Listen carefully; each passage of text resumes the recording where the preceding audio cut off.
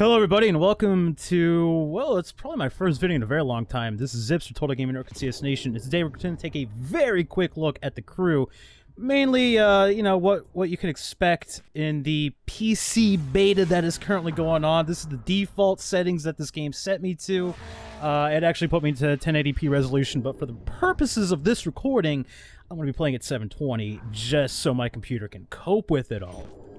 So with that said, we're going to jump right back into where I left off. I'm going to see if my car is still completely destroyed as it was when I left it because I am not sure how to repair it. So perhaps it repairs over time. And when I say destroyed, I know other people playing the beta. There is a colored bar and then a... Alex, oh, nope. It look Yes, yes, Zoe, I will be there. Uh, you can see on the left side of the screen my my little uh, name DigiZips for Uplay.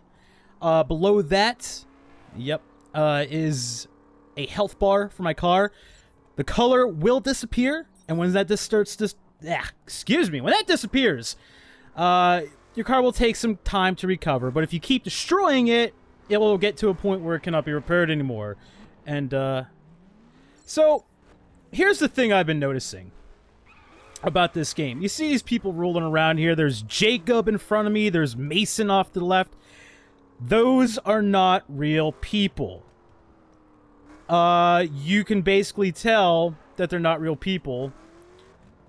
I mean, granted, some of them do drive like real people, but they're not real people because nobody on Uplay is using their real names. Yet every single person I have come across here has been like a Jason or a Miranda or just an actual first name. Now, unless somehow these people are seeing my first name of Shawn here, I, which I highly doubt, nobody I've come across in probably the hour and a half, almost two hours of gameplay before this, is a real person. Kind of annoying, but you know, what are you gonna do? So you start off the game, you're in Detroit, there's a lot of story stuff, and if that was a real person, he wouldn't be driving and obeying the rules right now, he would have smacked right into me. Um, let me just, just give him a little tap there.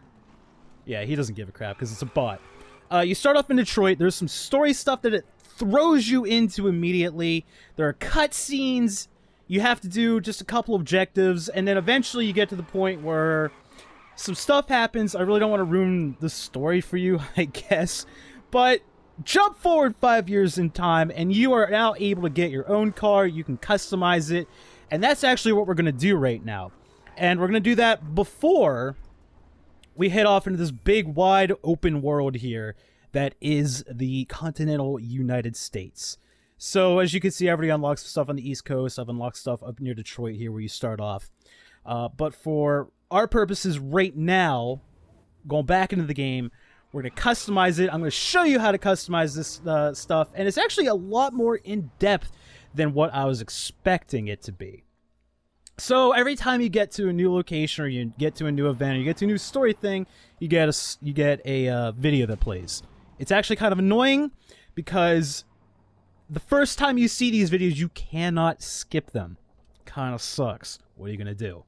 So you have your choices here initially of visual and performance customization.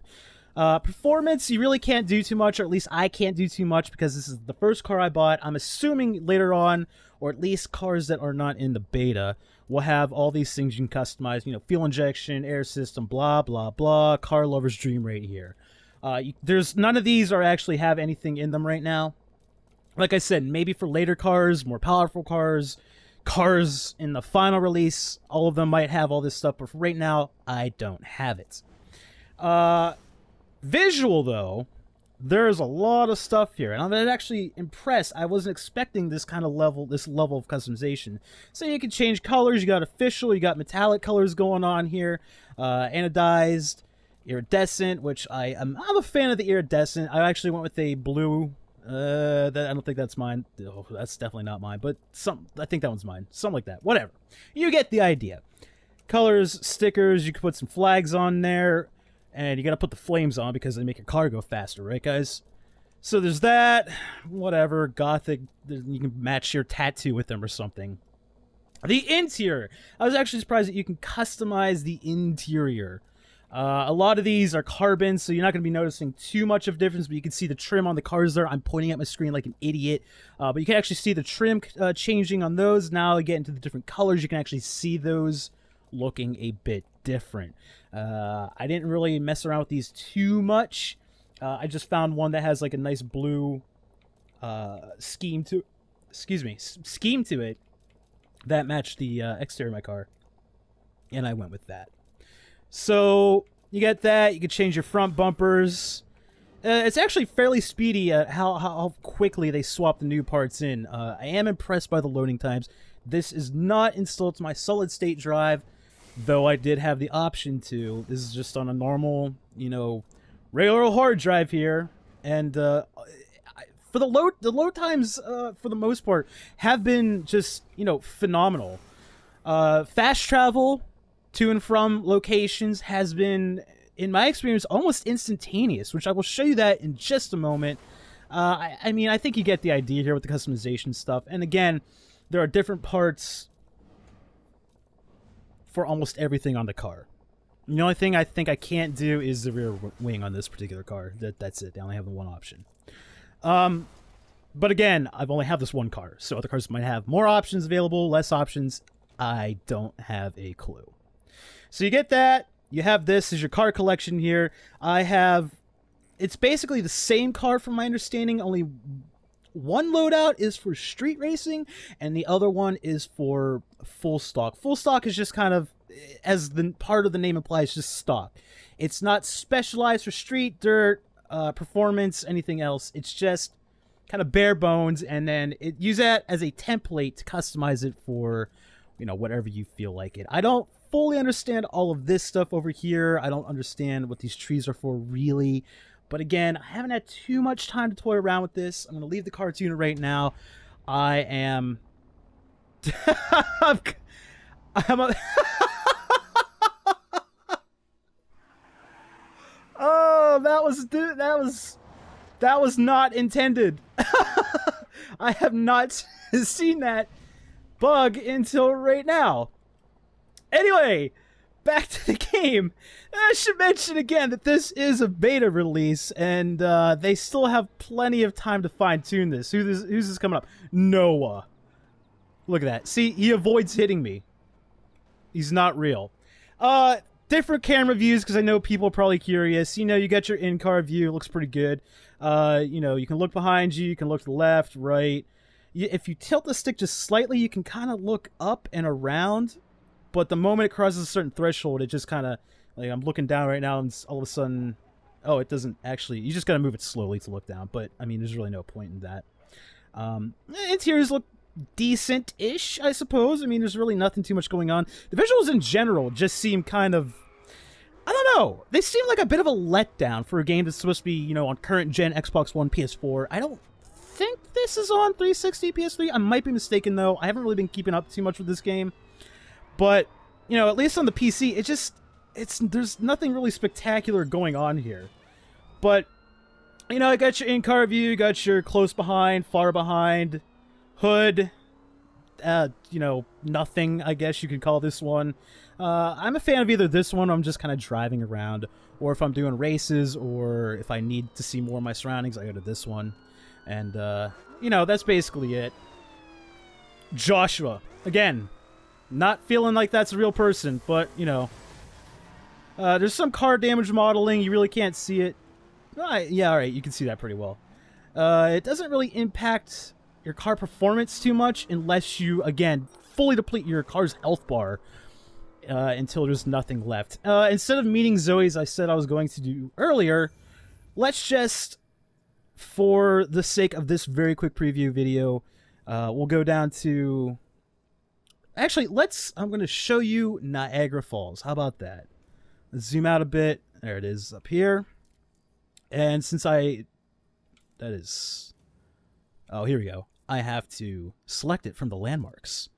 And they do have various landmarks here. They do have various things that if you discover them in the area, you can just, you know, fast travel to it. One thing I will say about this I really, I'm, annoyed with, and I'm not going to lie. Uh, hey guys, we're at Niagara Falls. Looks pretty different, doesn't it? I'm actually going to drive down to where I can show you them.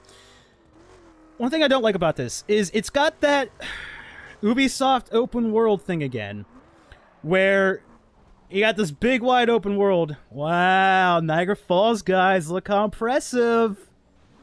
Or not impressive, I suppose, depending on your viewpoint.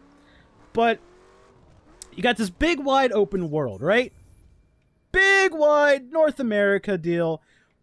And one thing that this does, that Watch Dogs does, that Far Cry does, that Assassin's Creed does, is this thing right here. You see that little the blinky looks like a satellite dish and it's blinking in this area. Yet again, in order to discover the stuff that's around here or at least reveal it on your map, you have to go and find these satellite dishes. You don't have to do anything. You just got to find them. And once you find them and you get close enough, it unveils the stuff that you can do in the area without you having to manually find them all. I don't understand the point of having that in every single one of their games. Assassin's Creed has the bird perch. Watch Dogs has the, I believe, radio towers. It's been a while since I played Watch Dogs, mainly because I've been waiting for them to fix the uh, performance issues on the PC.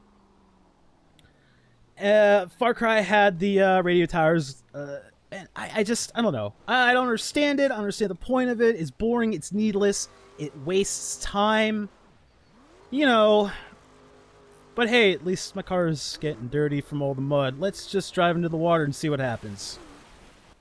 That's all that happens, guys. You can't drive in deep water. I'm sorry. But, uh, you know what? Let's go to New York, actually. Yeah? Uptown? Actually, no. Wait. Let's uh. There's Manhattan. Let's just go to Manhattan. I, I am actually kind of uh, disappointed a bit. Again, fast loading times there. I am disappointed a slight bit in just how small the scale seems. Uh, yeah, it's North America, it's the United States, but when I drove from Detroit to Niagara Falls, my little uh, distance indicator for my waypoint only shows 20 miles. So we're in New York right now. We're almost, uh, you know, on the East Coast for all intents and purposes. Let's just say that we are on the East Coast. We're at the Atlantic Ocean. And say you wanted to drive all the way to the West Coast here. Uh, what? Let's go up near Seattle. We'll just go the heart of Seattle, right there. Set waypoint. All right. Oh, little pause there. Nothing to be concerned about. Beta. Beta status here. So here we are. 77 miles from New York to Seattle. Granted, that will probably take you about an hour to get there from New York. But you still can't help but be a little bit disappointed in that, you know.